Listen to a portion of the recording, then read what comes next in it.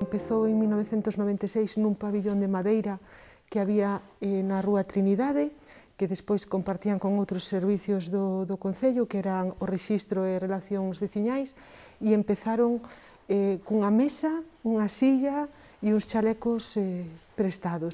E a partir de aí, eh, Protección Civil foi sendo un servicio imprescindible na cidade.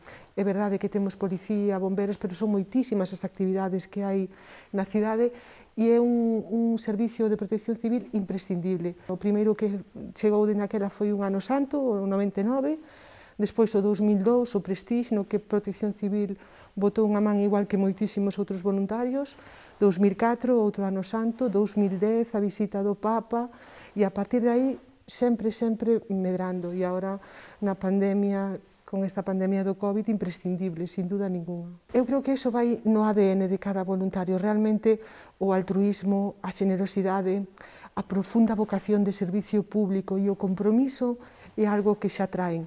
É verdad que logo eso pode decaer, pero eh, Protección Civil ten algo que te engancha realmente. A min enganchoume e a eles tamén. E ao mellor avísanos por a desaparición de un rapaz pois un estudiante que desaparecera, que despois finalmente apareceu no río, e que en 10 minutos hai 10 persoas aquí.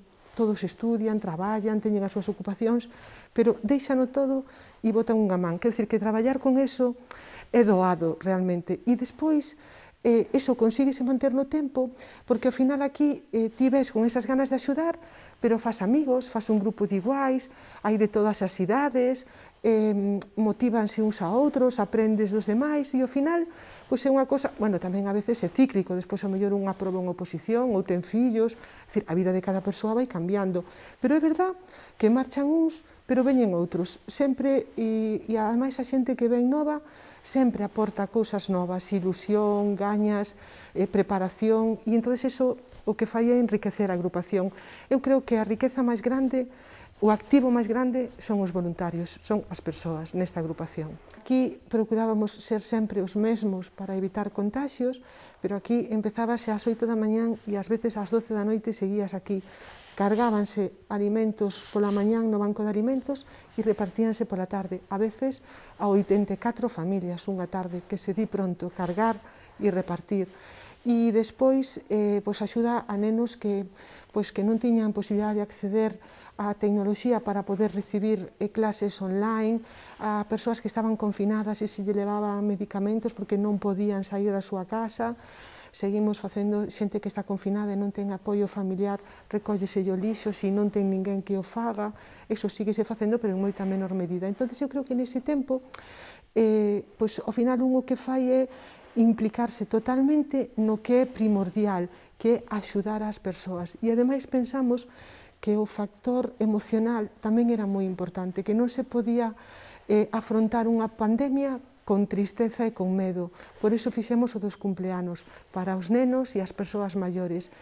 E é impagable a sorpresa dos nenos e a emoción, profunda emoción dos maiores. Ver a cidade eh, todas as rúas, a xente na, nas ventanas. Nese momento pola tarde, un pouco de ledicia, de romper a monotonía, porque estábamos confinados totalmente, pois para nós é impagable. Calquera actuación, porque esta, esto, os voluntarios o que teñen é que arriscan sin ningún tipo de dúbida nin de problema, pois a desaparición nun río, a desaparición nun monte, se hai que facer un rescate en altura, eles están sempre están preparados para facelo e dispostos.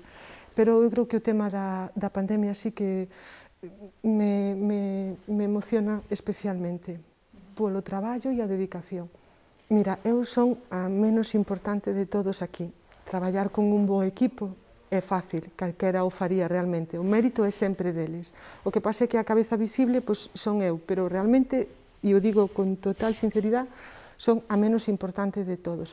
Eu creo que isto é unha loita por etapas e as que estamos agora nos toca loitar para deixarlle o camiño un pouquiño mellor as que veñan atrás. Nós temos unha voluntaria que tivo xemelgos, que, que teñen e dende esa non, non ven. Bueno, ahora un pouco tamén pola pandemia, pero realmente pois, a carga sobre ela, inda que é unha traballadora, é maior. E temos outros voluntarios que teñen fillos que son homes e veñen moito máis. Quero decir que alguén se encarga desos fillos. Non digo que sexan malos pais en absoluto, e eu agradezco que veñan, pero de momento a diferencia aínda se nota. A conciliación é unha palabra estupenda, pero quédanos ainda un pouquiño para, para facer a realidade de todo. Xenerosidade, compromiso e profunda vocación de servicio público. Para min, eh, son admirables os voluntarios de protección civil, con toda sinceridade, eu digo, moi admirables. Eu recordo o meu primeiro operativo que foi un, un obradoiro, eh, así con, con moitísima xente, eu claro, estaba acostumbrado a estar, digamos, de rol de público. E na primeira vez que estás do rol de que en controla o público sí que sí que choca un pouco porque eres como a cabeza visible do, do, do evento e a quen van a preguntar todo porque ao final eres o que máis se ve. Todos os días temos a revisión dos camiños e o apoio aos peregrinos. Facémolo en dous turnos de 4 horas cada un, pola mañán de 8:30 ás 12:30, pola tarde de 3:30 e 7:30. Entón, eso sí que é o que temos todos os días. Eh, basicamente consiste en recorrer os camiños de Santiago, francés, inglés, portugués, eh, camiño de Finisterre e Vía da Plata. Ahora mesmo, sobre todo o tema da mascarilla, porque ahora teñen que levar en todo o recorrido do do camiño, na que non este non casco urbano. E, eh, sobre todo, atención aos peregrinos, desde preguntas de onde me podo albergar, dende preguntas de onde podo tomar unha botella de auga, hasta algún peregrino mítico de unha lesión, un ampolla ou algo así, tamén a poderíamos atendernos. O traballo é moito máis como mm, insta, instantáneo, piden colaboración dun día para outro, sobre todo cos cribados, que con todo eso. E de, adícase case case exclusivamente a control de normas COVID na, no entorno dos operativos nos que, nos que colaboramos. E eventos deportivos non hai público, xa controlamos de outra maneira.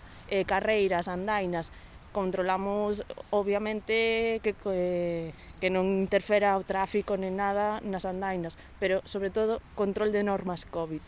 Actuacións que eles de, non poden levar a cabo porque eh, teñen que eh, facer outras, pois eh, pídennos axuda e eh, levámonos a cabo esa labor. Como un complemento. Sí, como un complemento, exactamente, algo así.